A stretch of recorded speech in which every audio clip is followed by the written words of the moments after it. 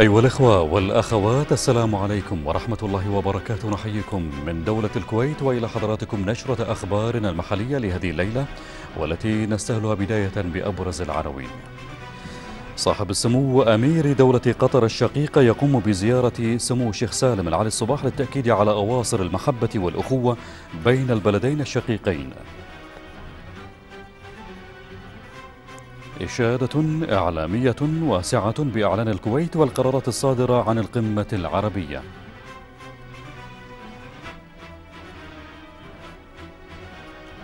واتفاقية تعاون وشراكة بين ديوان الخدمة المدنية واليابان لتطوير العمل الإداري.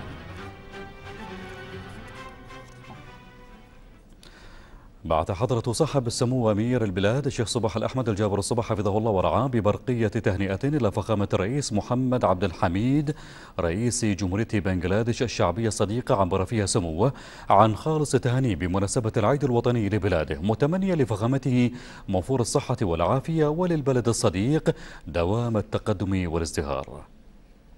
بعث سمو ولي العهد الشيخ نواف الأحمد الجابر الصباح حفظه الله ببرقية تهنئة إلى فخامة الرئيس محمد عبد الحميد رئيس جمهورية بنغلاديش الشعبية الصديقة. ضمنها خالص تهاني بمناسبة العيد الوطني لبلاده متمنيا لفخامته موفور الصحة والعافية. كما بعث سمو الشيخ جابر المبارك الحمد الصباح رئيس مجلس الوزراء حفظه الله ببرقية تهنئة مماثلة. قام حضرة صاحب السمو أمير دولة قطر الشقيقة شيخ تميم بن حمد بن خليفة آل ثاني بزيارة إلى سمو الشيخ سالم العالي الصباح. عميد أسرة آل الصباح الكرام ورئيس الحرس الوطني في ديوان سموه وذلك على هامش مشاركة سموه في القمة العربية الخامسة والعشرين التي استضافتها دولة الكويت من الخامس والعشرين وحتى السادس والعشرين من مارس. وتخلل الزيارة تبادل الأحاديث الودية والتأكيد على أواصر المحبة التي تحكمها الأخوة ووشائج القربى والمصير المشترك. وتمنى سمو الشيخ سالم العلي الصباح لقادة دول مجلس التعاون الخليجي والدول العربية جميعا التوفيق والسداد لما فيه خير ومصلحة شعوبها. حضر زيارة لفيف من الشيوخ وكبار الشخصيات.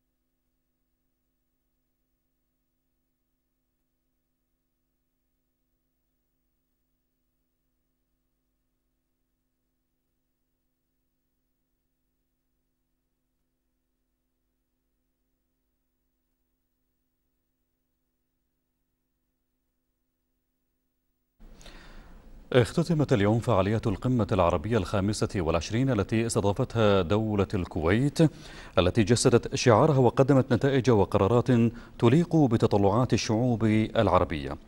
الإعلاميون أشادوا بقمة الكويت مؤكدين أنها جاءت لتقريب وجهات النظر بين الدول العربية الشقيقة كما ساهمت في تناول الموضوعات الهادفة التي تصب في مصلحة الأمة العربية.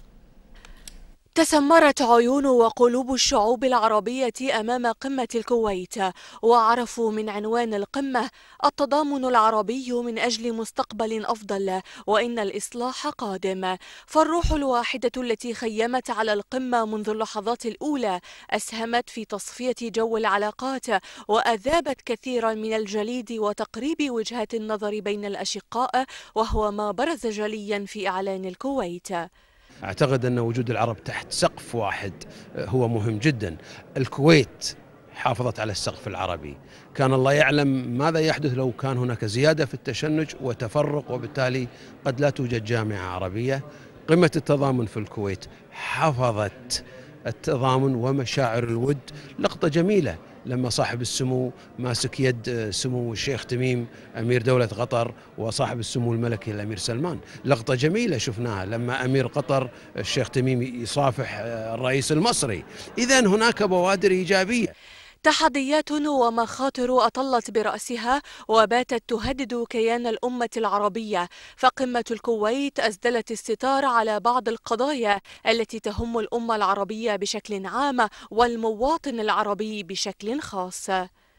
تم بحث أعتقد الجانب الاقتصادي دعم مشروعات الشباب وأيضا التركيز على ضرورة مراجعة المناهج وتحفيز ال ال ال يعني القضايا المتعلقة بالشباب وأفكارهم وتطلعاتهم وإصلاح بنية النظام التعليمي وأيضا مراجعة بعض المناهج التربوية. وبالتالي هي أيضا أنا أتصور تمثل عامل مهم جدا لدفع الشباب العربي إلى فضاء أوسع ويعني يعني نقلهم من حيز ضيق جدا فهذا مهم أيضا في القمة. نتمنى من الدول العربية أن تطبق كما قال الأمين العام لجامعة الدول العربية ليست مهمة جامعة الدول العربية متابعة تطبيق هذه القرارات. كل دولة هي ينبغي أن تطبق القرارات.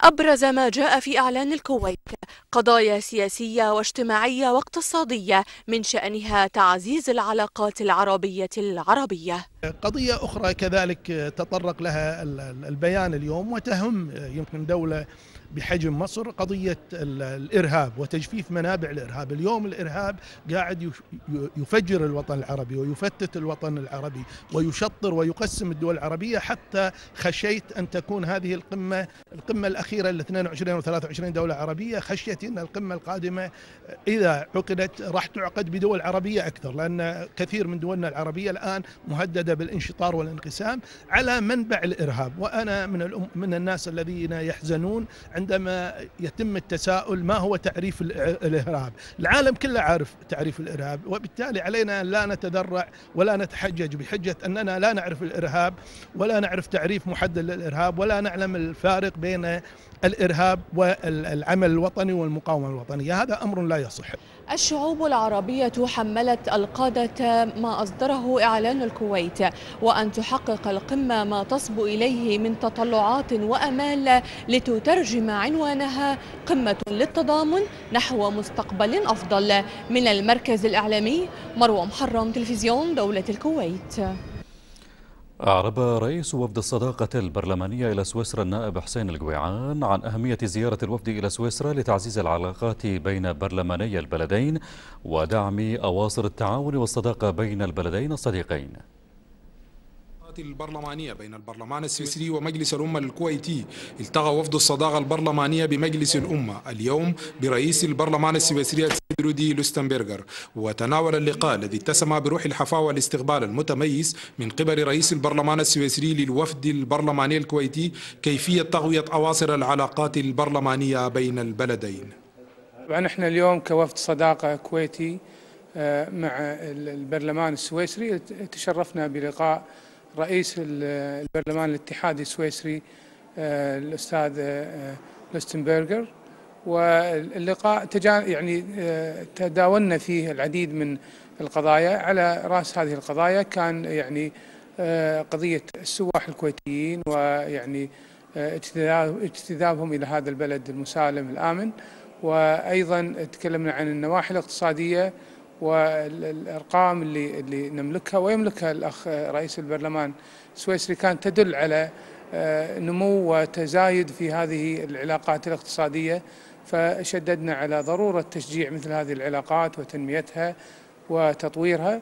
وأيضا آه، آه، تقدمنا بدعوة رسمية من سعادة رئيس مجلس الأمة الأخ مرزوق الغانم لرئيس البرلمان الاتحاد السويسري الاستاذ لستنبرجر بزيارة رسمية للكويت سوف تحدد لاحقا إن شاء الله.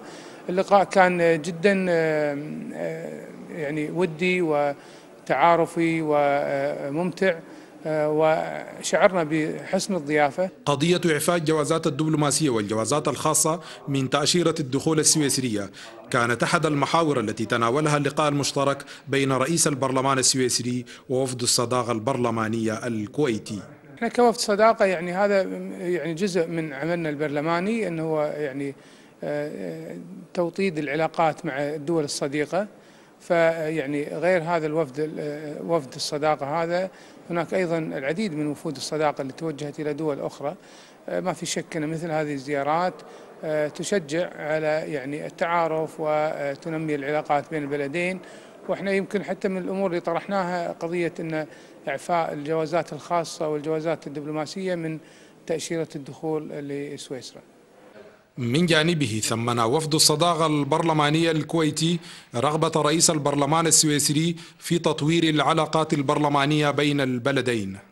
لقينا أمانة كثير من يعني الترحيب من رئيس البرلمان ورئيس لجنة العلاقات الخارجية آه، في البرلمان السويسري. أشكرهم طبعا على هذه يعني الحفاوة الطيبة. كما يسعدني أن أقدم الشكر إلى آه، سفير دولة الكويت السيد بدر الطريب الذي فعلا قدم يعني آه، يعني قدم شيء كبير لزيارتنا هذه وعلاقاته المميزة في كافة المجالات. لقاء وفد الصداقة البرلمانية بمجلس الأمة برئيس البرلمان السويسري واللجان المتخصصة. ما هو إلا تأكيد لمتانة وأصالة العلاقات البرلمانية بين البلدين. طه يوسف حسن تلفزيون الكويت من داخل مبنى البرلمان السويسري بيرن. وقع ديوان الخدمة المدنية مع اليابان اتفاقية تهدف إلى تحفيز التعاون بين البلدين الصديقين لبناء القدرات البشرية وتنميتها إضافة إلى تعزيز الروابط الثنائية في المجال الإداري.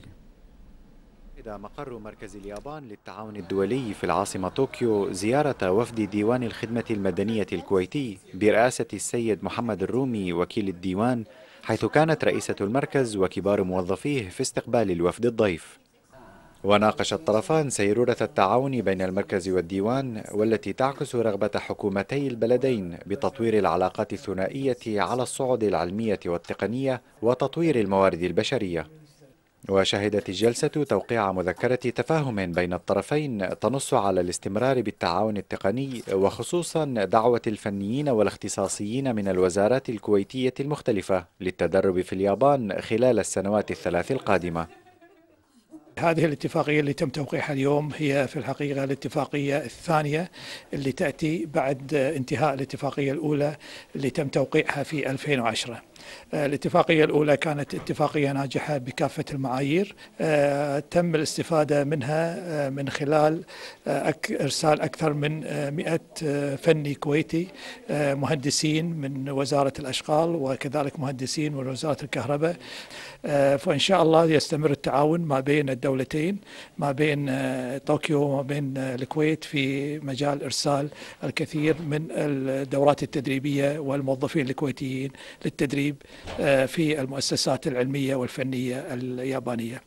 クエートの研修は الكويت تتعاون معنا بشكل فعال جدا وتقدم نموذجا يحتذى به للتعاون مع دول المنطقة. وهذا أمر ينعكس إيجابا على مشاريعنا ومخططاتنا المستقبلية. ونحن سعيدون لما حظينا به من تقييم إيجابي من شركائنا في الكويت والدول العربية حيث يعجبهم المنهج التدريبي الياباني الذي يجمع بين النواحي النظرية والعملية. فنحن لا نكتفي بتقديم المحاضرات الأكاديمية بل نتيح للمتدربين فرصة التطبيق العملي أيضا. وتعد الكويت من أكثر الدول العربية نشاطا في إرسال المهندسين والخبراء التقنيين للاطلاع على أحدث الإنجازات العلمية في اليابان من خلال مركز اليابان للتعاون الدولي وهو هيئة تابعة للمنظمة اليابانية للتعاون الدولي الجايكا. التعاون بين الكويت واليابان لتطوير الموارد البشرية يصب في سياق تنويع مجالات التعاون بين البلدين خارج الإطار التقليدي الذي غالبا ما كان يقتصر على قطاع النفط والطاقة. نجيب الخش تلفزيون دولة الكويت من طوكيو. انطلقت فعاليات مؤتمر سرطان الدم وزراعة الخلايا الجذعية الذي تنظمه وزارة الصحة بمشاركة خبراء من دولة الكويت ودول عربية وأوروبية للوقوف على آخر المستجدات في مجال سرطان الدم المختلفة وزراعة الخلايا الجذعية والتعرف على أحدث التقنيات المستخدمة في هذا المجال. الطبية إيمانا من وزارة الصحة بأهمية توفير أفضل سبل التشخيص والعلاج للمواطنين والمقيمين. انطلقت أعمال مؤتمر سرطان الدم وزراعة الخلايا الجذعية بمشاركة نخبة من الأطباء والاستشاريين من داخل وخارج دولة الكويت. يميز هذا المؤتمر حضور نخبة من الأساتذة العالميين البارزين في مجال سرطان الدم وزراعة الخلايا الجذعية ويعتبر هذا الحدث فرصة ثمينة وكبيرة لتبادل الخبرات والتواصل بين المختصين والاستشاريين في هذا المجال بما يحقق الأهداف المرجوة في التدريب المستمر للأطباء على أساليب التشخيص المختلفة. العقد اللمفاوية تعتبر أكثر الأنواع شيوعا على مستوى دولة الكويت في مختلف أنواع السرطانات. كما قطعت وزارة الصحة شوطا كبيرا وواضحا في زراعة النخاع ومعالجة سرطان الدم الحاد. سرطان الدم بأنواع المختلفة نوعا ما شائع. يمثل 10% من حالات السرطان في عام 2010 وهناك نسبة شفاء جيدة لهذه الأمراض. وعلاجه يختلف ما بين العلاج الكيماوي إلى العلاج الموجه إلى العلاج الكيماوي وزراعة النخاع آه، أو نقل الدم وبعض طرق العلاج يعني. سرطان العقد اللمفاوية يعتبر ثالث آه، أكثر أنواع السرطان آه، شيوعا. مثل بعد بالنسبة للرجال القولون والبروستاتا يأتي سرطان العقد اللمفاوية. سرطان الدم نفس شوي وليس شائع جدا ولكن يأتي في أعمار مبكرة خصوصا الأطفال فقط أو صغار السن يعني. والمميز لهذه الأمراض لأن لها علاج ونسبة الشفاء. قد لا تكون 100% ولكن في أمل يعني دائما في هذه الحالات يعني. مركز يعقوب بهبهاني لزراعة النخاع الذي سيتم افتتاحه قريبا يعتبر الأحدث والأكبر عالميا من حيث السعة السريرية.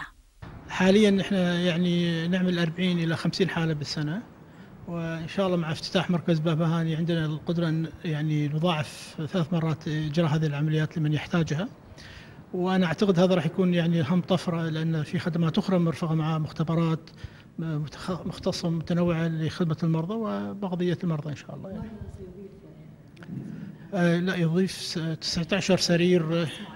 نعم راح يضيف عيادات مختصة راح يضيف علاجات علاجات اليوم الواحد لمرضى السرطان خصوصا آه، من يتلقى العلاج آه، زراعة النخاع.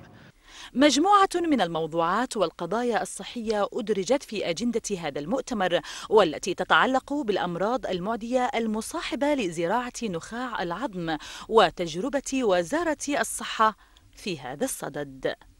آه، بدأنا في زراعة نخاع العظم من سنة 2000 بدأنا بزراعة النخاع من الذاتي من المريض نفسه لنفسه.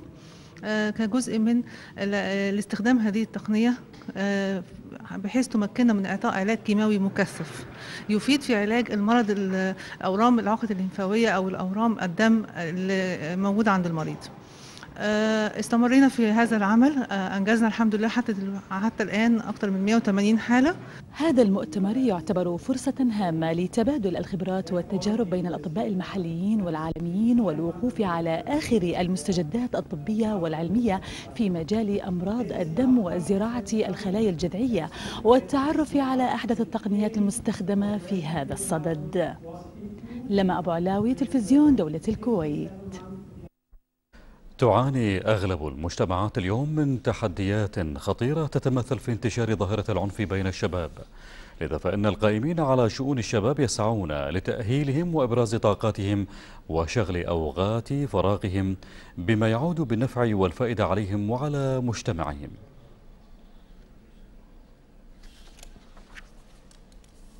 تعتقد بصحتها حيث أن المجتمعات باتت تواجه تحديا خطيرا بعد انتشار ظاهرة العنف في الفترة الأخيرة بين الشباب.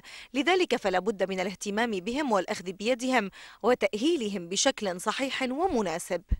الشباب الكويتي يحتاج إلى توعية يحتاج إلى إرشاد يحتاج إلى ناس يتبنونه آه، ويوجهونه التوجيه الصحيح ويوجهونه إلى آه، الطريق السليم في في حياته. إحنا طبعا هذا إحنا لو قدرنا نطبق هذا في كليتنا إحنا عندنا 16000 طالب وطالبة لو قدرنا نوجههم قدرنا نأثر عليهم من خلال أعضاء هيئه التدريس من خلال المؤتمرات اللي تصير والندوات وعندنا إحنا مواسم ثقافية بالكلية يعني أنت لما تثقفين 16000 بالمجتمع ويطلعون ينشرون هذا الوعي وهذا هذه الثقافة راح إن شاء الله ينعكس على المجتمع بطريقة إيجابية وبدور إيجابي. اليوم الكل يتطلع إلى دور وزارة الدولة لشؤون الشباب بضرورة الأخذ بيد الشباب وإبراز مواهبهم وشغل أوقات فراغهم بالإضافة إلى العديد من الهيئات التي يقع على مسؤوليتها الاهتمام بهم. الشباب آه، دائما طاقة و آه، يرغبون في المشاركة في جميع أمور ال- المجتمع.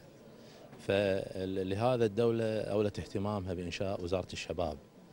ونتأمل إن شاء الله من الدور وزارة الشباب بأنها تبحث عن الطاقات الموجودة. عندنا أيضا مركز الشيخ صباح الأحمد لل- للموهوبين. في أيضا إحنا بصدد بالهيئة إنشاء مركز للموهوبين. كل هذا نبي نفرغ الطاقات اللي موجودة في الشباب آه، سواء على أي مستوى آه، يرغبون في فني ثقافي ما الطاقات الموجودة علمي وإحنا محتاجين له جدا في المجتمع الكويتي حتى ينشغل عن ال- الأشياء التي تدفع إلى الجريمة والأمور هذا وهو مكمل لدور التربية إن شاء الله. إذا الشباب هم رجاء الأمة ومعقد آمالها وكنزها الحقيقي الثمين. لذلك لا بد أن تستثمر كل طاقاتهم ومواهبهم وإبداعاتهم. بالشكل الأمثل. ديما دحدال تلفزيون دولة الكويت.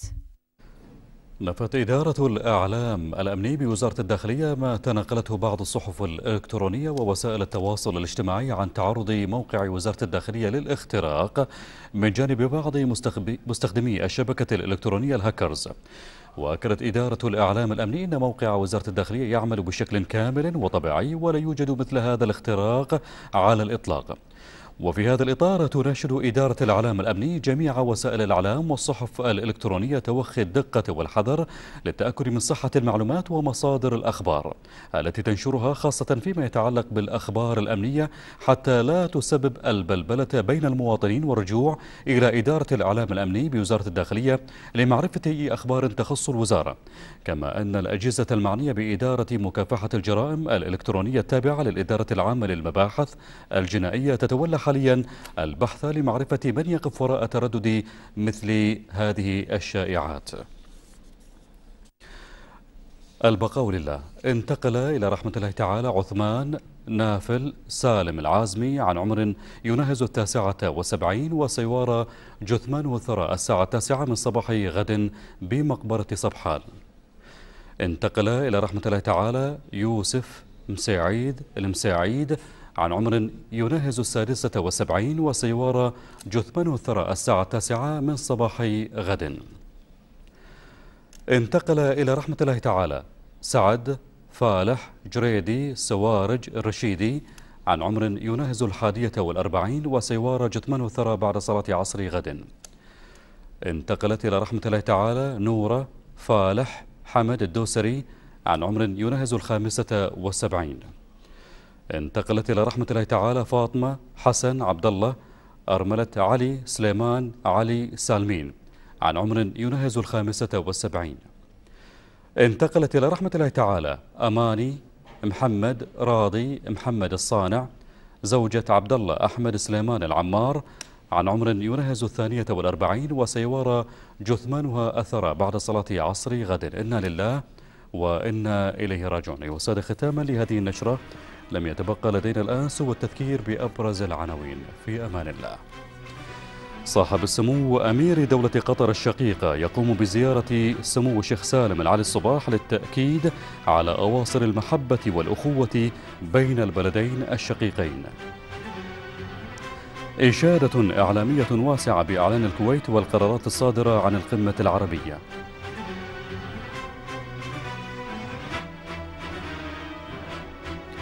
واتفاقية تعاون وشراكة بين ديوان الخدمة المدنية واليابان لتطوير العمل الإداري.